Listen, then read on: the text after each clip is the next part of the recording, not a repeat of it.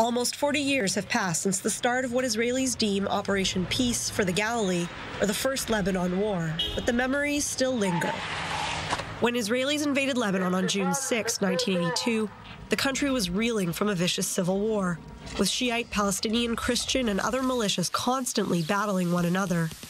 Israel threw its support behind a predominantly Christian militia known as the South Lebanon Army. They were fighting a common enemy, the Palestinian Liberation Organization. Many of its veterans now live in Israel. Our memories were bomb shelters and how to run away from school and get to bomb shelters. There were always wars, bad memories, but that was our childhood. We grew up in Israel's hands. They gave us food and financial support for schools and fuel and everything you want.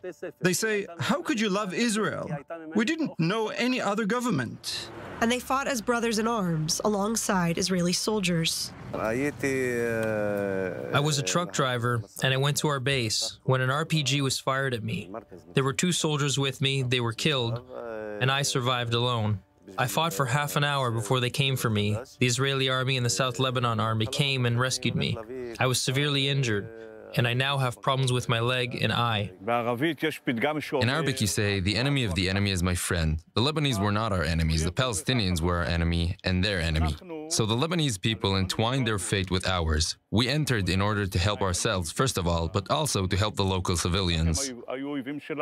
With Israel's withdrawal of troops in 2000, veterans of the South Lebanon Army fled across the border in chaos and disarray. I didn't know I didn't have time to hear about it, and I didn't know anything. I was sleeping and my officer in Kiryat Shmona told me to come to Israel with my wife. Withdrawing was necessary, but not in that way. It was a disappointing way, and it didn't have to be that way. That day was total chaos. SLA posts started to disintegrate, and they didn't prepare us for that.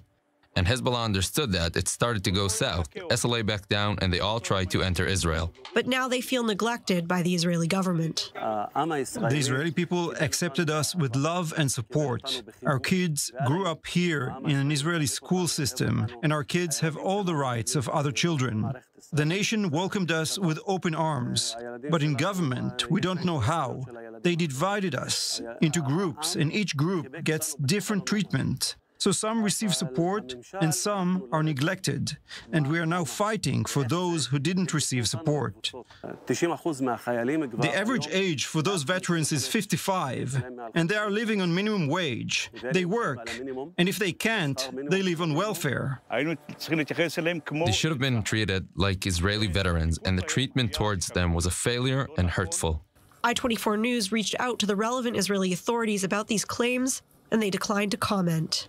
With their fate now intertwined with the state of Israel, these veterans have made a new home as their past lies beyond borders.